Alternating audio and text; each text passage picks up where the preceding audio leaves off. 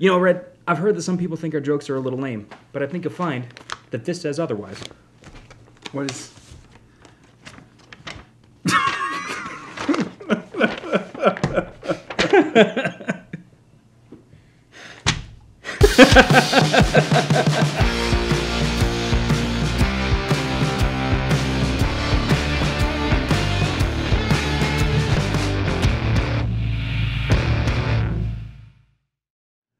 back to Worth a Dram. I'm Red. And I'm Grim.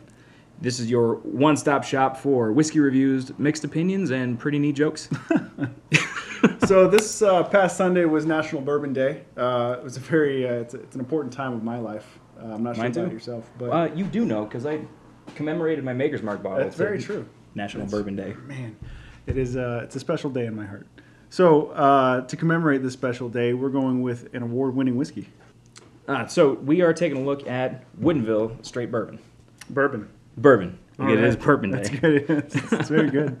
Um, so this is actually this is our first fan recommendation. I know it's very exciting. So thank you, friend of the show, Bob. Yeah. uh, definitely appreciate the recommendation. Uh, we do take recommendations. We take them very seriously. We also take donations very seriously. I mean, if anybody wants to drop off a bottle of scotch or Agreed. something. So comment down below if you have any recommendations you want us to try. Absolutely. Uh, definitely uh, looking forward. I think we have a couple already. Besides Wooden, Woodinville was the first. Yep. We've got a couple in the uh, on the back burner, but anything you guys want to see us try, definitely uh, looking forward to that. Yep. So Um, so, like I said, today we're taking a look at Woodinville, um, straight out of Woodinville, Washington. it's pretty cool. Um, this is the 2020 winner, double gold medal. Two gold medals. I'm immediately thinking of like, I think you are both gold medals. anyway, so, um, so this is the winner of the 2020 San Francisco World Spirits competition of the um, best straight bourbon category. nice. Yeah, um, you know, we were actually uh, tipped off to this bourbon. There was a, I think, a Forbes article that said if we find any of these bottles on shelves, buy them all. Yeah. I didn't do that. We we bought one. Yep, we bought one because I didn't know. I mean, to be fair, Woodinville could have typed that up and said, "Hey, go ahead and publish this." That's true. Like, you know, drive up sales. Um, I'm looking at this bottle though. It's a nice bottle. It is. I got uh, the color. Embossed on the side. Yeah. I mean, So Woodinville has been producing up to seven barrels a day since 2010. Like they nonstop. Like they've been cranking these out. Hmm. Yeah. And I believe this year is the first batch year that they're actually releasing these. Nice. These are a five-year bourbon. Um, actually, so I did mention um, that they took home the best straight bourbon that category. Yeah. There is a little bit of a defining factor between bourbons and straight bourbons. So it has to conform to the five factors that I mentioned in episode two, not four, five. Five- five factors. But it also has to be aged for more than two years. yeah. And if it's aged for less than four, that age statement has to be on the bottle. Oh, okay. Um, I think during our research, we happened to find that this was aged five years. Five years. Yeah. Yeah. Yeah. Um, Um, and it's it's it's small craft whiskey. I mean, oh, absolutely. Yeah. Uh, right on the back of the bottle, it says that all grains harvested for this bourbon comes from uh, the Omlin. I don't know about the pronunci- pronunciation there, but the Omlin family farm in Yeah. Quincy, Washington. It's all locally sourced. All right, so uh, Woodinville. The, so this bourbon is uh, seventy-two percent corn, twenty-two percent rye, and six percent barley. Malted Uh, barley. Malted barley. Um, so I'm very. that was a cute little cork. I like that cork. that was good. Corks get my attention, uh, just in general. Um, that was that was a good cork. So hats off to Woodinville for a good cork. Um, but their uh, barrels are uh, open air aged for 18 months uh, before they put um, the bourbon in them, and then they're trucked up to the uh, Cascade Mountains up in Washington, where at least they say um, on their website during their research that the uh, temperature changes in the Cascade Mountains cause the barrels to uh, expand and contract, which forces the spirits in and out of the uh, of the wood, providing a, a more uh, in-depth flavor. Um, so definitely excited for that. I think it's responsible. You think that's responsible? I think so. I think it is as well. Big bottle. Oh, Big bottle? I did it. You did? Yeah. did you I'm miss? so sorry. I'm preoccupied with the beetle. I'm so sorry. Uh, I'm gonna go ahead and I'm gonna start nosing this while you're pouring me some glasses. I'm gonna get a head start on you. All right, yeah. I guess That was good. That was. So we've we've had some recommendations that maybe we should pour smaller glasses.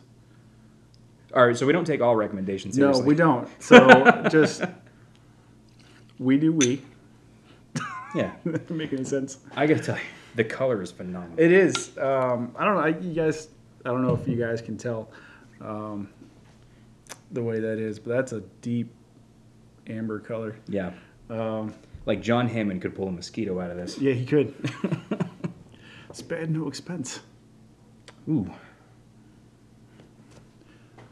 So I get, I get that wood right off the bat. mm-hmm. I, get- that wood is pretty strong. The the wood comes off first. You get once you get past that though, I get um, a little bit of sweetness, toasted caramel. Actually, you know what? A little bit caramel apple. I think that's where the majority of that sweetness. Yeah, is that what you're getting? Yep.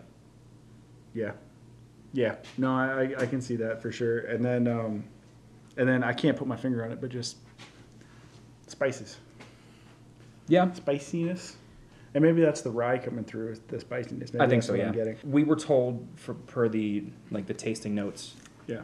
um, that there should be kind of an air of creme brulee. Yeah. And I've seen you and your wife order creme brulee every single time we go to Canyon's Crown. That's true. It's a delicious. So what do you get? Did, like you being the creme brulee expert, do you get? Well, I said burnt caramel, like burnt caramel, and that's what I. That's what I. true, but I mean, so caramel's its own thing, but the creme Yeah. brulee, like I don't. I'm really expecting Get, like a little custard flavor. I don't know what creme brulee is made out of. it's custard. Oh, is it? I had to look at my wife to make sure. But I did too. custard. Yes, I looked over. She was like, "Yep, yep, you got Yeah, it." you got it. It's custard. Um, no, I, I get toasted, toasted barrel, toasted caramel, and then that spicy rye flavor. I don't get necessarily exactly creme brulee, but I can Yeah. see where that would come from. You know that rye is actually riding pretty strong, considering it's so low in the mash bill. Yeah. Um, you know, it, it, it almost accounts for a quarter, but it's still it's. Yeah, it's right Pretty there. strong, yeah. It's right there. I mean, granted, I mean rye is not really a subtle No. grain. um, so I can't wait any longer. We, No? I remember I, I picked this up like a month ago, and It's we were true. like, "Let's crack it open." I was like, "No, no, Well, no, no. let's do it. We can't try anything new until we're in front of the camera." It's been a very sad month. I mean, it's been a great month in general, but sad because every time I saw that, I said, I, I can't drink it yet. Yeah, well, that's why I kept it hidden in my bar. I know. All right.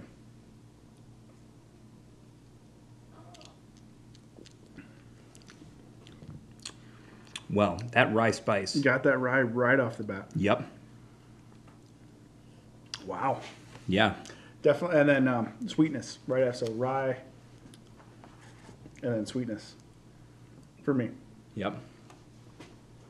So Caramel, like traditional bourbon flavors. yeah, but those caramel. those spices that you that you smelled before, like Yeah. that kind of rolls in Yeah. on the on like the back end. Oh man, that's really that's that's good.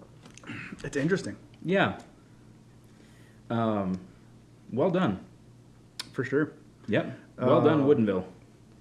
That's it's That is. it's it's, com- complicated. Yeah, I was gonna say it's complex. It's Yeah. the exact same thing I was gonna say. Is it? I've noticed a lot of times, like you and I are, we we've got a similar impression, Yeah. like, uh, and we we try we end up saying the same thing at about the same time. Yeah. Which, I mean, it's okay. It works for me. yeah, I was always hoping like we'd have different takes on things, but it, I think our our palates are a little too similar. I mean, I can always eat some more So one of us is fired. Hershey Kisses before this. We got to get somebody else in here. So uh, this is worth a dram with red and to be determined. Open up. Where are you gonna film? this is my house. I'll rent it. All right. I, yeah, I can I can get behind that. Yeah. Yeah. I So- can't. I can't. I can't do this without you. I okay. you know, I actually, I, I do actually feel the same way. We so this whole concept started towards the beginning of the year, and in its in its infancy, it was just me with like a barrel, with like a sheet back here, and it was I would just like have like a different friend on, and we'd talk for like five or ten minutes and just Yeah. sip whiskey. And I ran into these guys at 9 a.m. at on a, total wine on a Friday. on a Friday, on and off Friday. Off Friday. Yep. We work every other. Every, we have every other Friday off. Yep. And off Friday. 9 a.m. We are in the alcoholic section of Total Wine. So like, the front of the store, the bathroom, like just. anyway, we were wandering the store. yeah, and uh, so I ran into these guys and we started talking the concept. And after a couple days, um, I that's when I asked you. I was like, "Red, you know, would you like to be a, a permanent co-host?" Best decision I ever made. And I said, hell yes, which is the second best decision I've ever made. Yep. Actually, I thought I really when you said hell yes I would when I was like, "Are you interested?" I really thought that he was just office answering me like, "Absolutely, Absolutely, I, I would. would. like just humoring me. Um, but no, you you make this easy. I, pre- yeah, pre- you know, I mean, yeah, we we have a good back and forth. Yeah. I, I feel like I'd say. I feel like I can talk to you forever. All right, it's enough of the bromance. Knock knock. Who's there? JGB. Somebody else get it. Nick. JGB war no one. All right. Just you wait. Actually, you know what? I'm gonna give that to you because I've actually pulled some pretty mean pranks. yeah, you're good. You're good. Oh man, There's the Buddy the Elf. There's a spicy coffee. spicy coffee. Nick Cage. Nick Cage Cage. on the keyboard. Uh, The cajuning. That's what we called it. That rye just piggybacks it up to the Yeah. top. It's something different. yeah, for sure. Um, Um, I, I mean, complex. I think nailed what yeah. I don't. I mean, I've had half of this dram so far, and I don't know that I've had the same exact like taste profile. No, Like every every sip one, is different. One I'll get a little bit more sweetness. One I'll get a little bit more rye. One will just be like everything's in perfect balance. Yeah. It's it's interesting for sure. And the, I don't feel like any one aspect overpowers the other. Like they all just kind of No. complement each other straight to the top. That was a weird cut. Thanks, Nick. Appreciate it. anyway, so like always, it's our YouTube time travel. It's been about I don't know 15. 15, 15-ish minutes. Yeah. I was sneaking a sniff there. Yeah, well, Yeah, you almost was- took a sip. I was very While we were close. filming the promo. Very close. Um, I know I can't wait. No, I'm not. We're not going to beat around the bush this time. I'm going to. I'm going to jump right into I this. thi- yeah. These glasses have been sitting long enough. Yeah, I think so. I, I get a little, maybe a little bit more oak on this on the after it's been sitting for a little bit. Maybe I actually. I kind of feel like it's about the same. It's about the same. Yeah, Maybe I'm just looking for it. it's possible.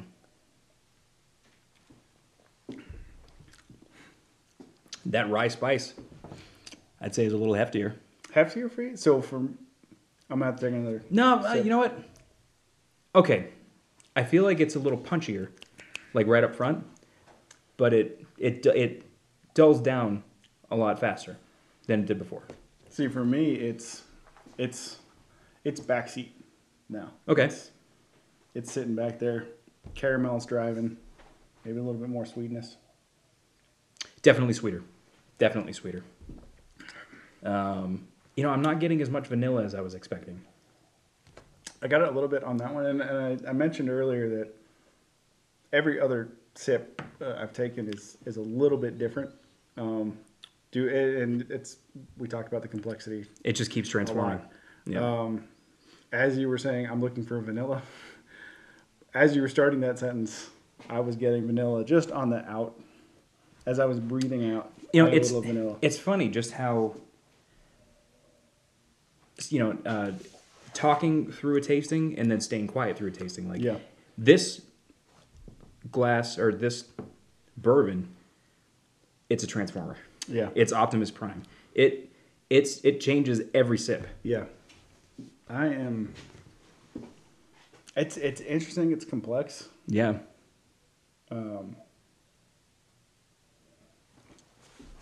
I'm looking for. I got a lot, a lot more vanilla on that one. I think flavor alone, if I were to recommend this on flavor alone, I might. I don't think I could, but if I if I were recommending an experience, Oh, I agree. sit back and enjoy this one. Yeah, let it ride. Yeah. Every every other sip you get, it's going to be a little bit different. Yep. Um, like you have to dedicate some time to this. It's one. a it's a thinking man's whiskey. It's I'd say. it's when you're, you're sitting in your uh, sitting in your chair, Yeah. got your pipe. You know, maybe you're eating a meat tornado. Is that, is that yeah. You had me at Meat Tornado. Um, you know, we've we've talked in previous episodes on, hey, what would you mix this with, or what would make it? I wouldn't. Nope. I don't know that I'd mix this. This is a neat. Maybe toss a couple ice cubes in there, a drop of water if you'd like, but I think you know what I think. A, I think a drop. That's one thing that we haven't done yet on this show. So something that you wouldn't necessarily think actually does anything. Adding like a drop of water to to a, a dram of whiskey or scotch or bourbon, it does something. It brings the spirit to life. Like it, it just transforms it. I think it, in my mind, it rounds the edges a little bit. You know what I think it act- so scientifically speaking, what I think it does is that water actually engages with the alcohol and causes some of that to evaporate, which brings it brings that edge down so you get more of the flavor. I would. You got a little bit left. I would try it. Yeah.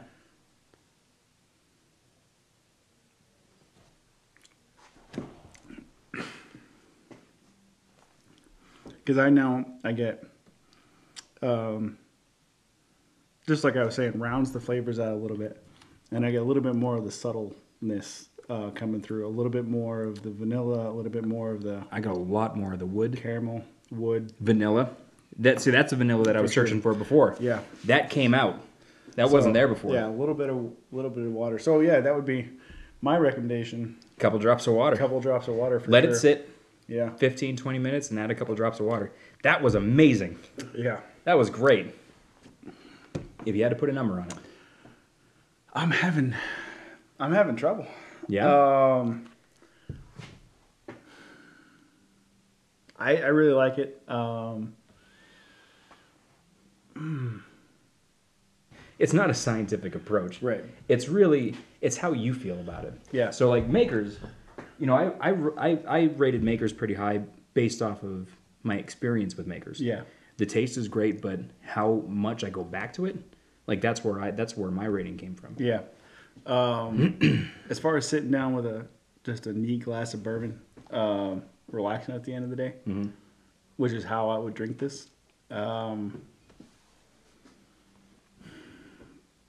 I'm I'm at about a seven, Yeah. I think. Okay. Yeah, for sure. Seven out of ten. Yeah. I Yep. Um, and I'm, I'm, I'm almost thinking eight. I might say seven and a half. Oh, you're gonna pull out the first I might the first the solo first- half point. yeah. Okay. I might, I might, I, I'm stuck between seven and eight, only because I, I'm not often in the mood. I, I mean, when I'm drinking bourbon, it's not because I'm drinking. You know, I'm, I'm not always going to be like I want to taste all the complexities, and I want to, you know, for me, bourbon's like I'm gonna unwind. It's Yeah. a nice, you know. Yeah. Usually, when I'm going complex, I'll grab a scotch or I'll grab something else, and that that's what's throwing me off about this because I would treat it as I would treat a nice scotch, but it's a bourbon, Yeah. which is where my it's a it, where my mind's going right now. So Yeah. I, I'm gonna go back with a seven. Okay. So I will. I, I agree with you on that rating. So I I also feel like it's a seven, and that, like I mentioned before, that's from my experience with this right now. Yeah, So a lot of my rating goes into the experience of this. yeah, Um, 100% I agree with you that it's a little too complex for a bourbon. yeah. However, I would love to share this with people. Oh yeah, And just- yeah, just talk through what they're experiencing as they're drinking it. Like Yep. like we just spent you know ten minutes doing. Yeah, that was. I mean, that was from start to finish. That was a journey. Yeah. And it, this, this is like, this is what I'm expecting out of the Infinity bottles. yeah, yeah, something like that. Man, it's Um, boom boom. Yep, boom, boom. Uh, so just you know something that that's constantly changing, but like every sip changed. Yeah. You know that was. This is one I could see us revisiting and then having different different thoughts on. Oh yeah. I mean, Maybe not a different rating, but a different thought. You Yeah. know, next time we try it. So I'd say yeah. If you're firm seven, I'm a firm yeah, seven. firm seven. Boom. Solid seven. That fancy wood thing that I've been doing. I like the wood paneling. Yeah, you like that? Yeah, Yeah. I wish I had thought of that when before I'd released the first episode. It works. Work in progress. Yeah, I mean, you guys. I mean, you, you're you're along this journey with us, so you're going to see not only our taste change and grow, but hopefully Yeah. yours. Like, you know, we also, you know, one of the reasons that we released the promos a couple days before, um, you know, the announcements on Facebook. So if you feel so inclined, go out and grab a bottle, crack it open when we do, enjoy it with us. Yeah. Yeah, Um, let it and let us know what you think. Uh, either comment down below, hit us up YouTube, Facebook, uh, Hey, whatever you want to get us hold of. Actually, speaking of enjoying with us, uh, let's give a shout out to the Wag House. Wag House, yes. Yeah, for so sure. uh, Nick and Justin, they're a couple vets. They're doing pretty much the same Similar? thing here. Yeah, similar. They're reviewing whatever they want. They've done whiskeys.